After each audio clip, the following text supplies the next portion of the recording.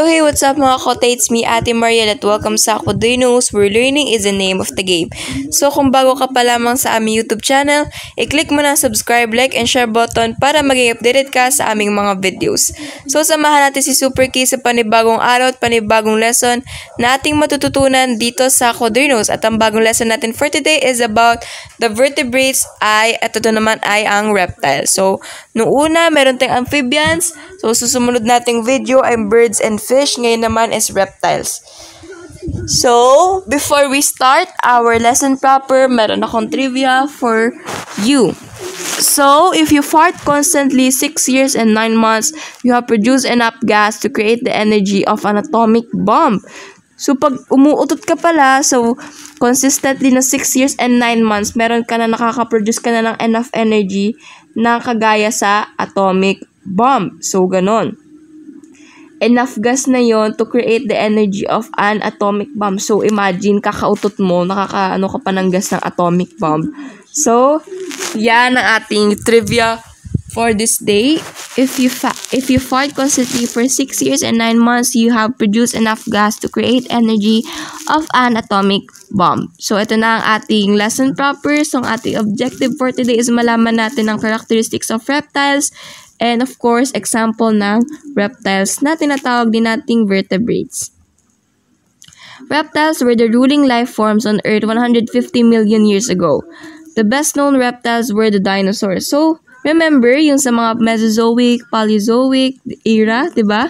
Sa Mesozoic era, meron tayong mga dinosaurs na nag-rule sa ating land. If I'm not mistaken, that's Mesozoic. And susunod natin yung Mesozoic, which is the mammals. So, yan. Sila nagro-rule ng ating mundo 150 million years ago. So, meron na tayong reptiles 150 million years ago. So, a reptile is an animal whose animal whose whose animal whose body is covered with dry and scaly skin. So, dry siya and medyo may makaliskis siyang type of skin and texture. So, yan ang tinatawag nating reptile.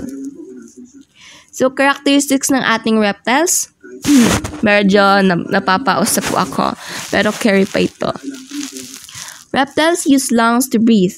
Most reptiles have four legs. When air temperature changes, their body temperature also change. Wow! Kung iba-iba yung temperature ng air, mag-iiba din yung temperature ng kanilang body. So most rep most reptiles lay eggs. So kagaya ng bir- kagaya ng birds and fishes, nagle-lay din sila ng eggs. So yan. They use its lungs to breathe. They have four legs and kapag ang temperature nagbago, magbabago din yung temperature ng kanilang katawan. So, next one. Alligators and crocodiles have strong jaws and powerful tails. They are carnivores. They only feed only on meat. So, pag sinabi natin carnivore, di ba, they only feed on meat. Or yung para mga kumakain ng mga karne. So, ang example ng ating carnivores is alligators and crocodiles. So, di ba pag sa zoo, yung ating mga zookeeper or yung mga nagfa-facilitate or yung mga tao sa zoo, so pinapakain yung mga crocodiles gamit yung mga meat ng manok ata yun or baboy. Most of the time sa baboy, yung mga uh, meat na kanilang kinakain. So, yan. Carnivores ang ating alligators and crocodiles na may strong jaws o yung kanilang bunganga. So, syempre, meron silang mga ngipin na super laki din. And meron silang powerful tails. So, medyo, medyo spiny siya, pero medyo scaly din siya. So, ganun yung sa alligators and crocodiles. So, yan. Strong jaws. So, yan. They eat only meat. And itong kanilang powerful na tail. So, reptiles siya kasi nga, oh, scaly ang kanilang skin. So, may mga scales sila. So, yan example ng crocodile. So, may mga malaki, may maliit na mga crocodile. But, pag nagiging dangerous sila kapag meron silang nakikitang mga, mga threat sa kanilang mga paligid. So, natitrigger sila para maging uh, aggressive and maging uh, uh, magkaroon ng tendency na makasakit or makaharm ng ibang uh, species or ng mga most especially tao. So, tortoises and turtles are covered with hard-shelled cold carapace. When frightened or surprised, they hide their heads inside their shells. So, di ba may pag-aralan na natin, na natin ito sa adaptation of animals, sa letter B, if I'm not mistaken. Meron silang hard shell, na tinatawag nating carapace kapag sila ay nat- nat- natatakot or nagulat.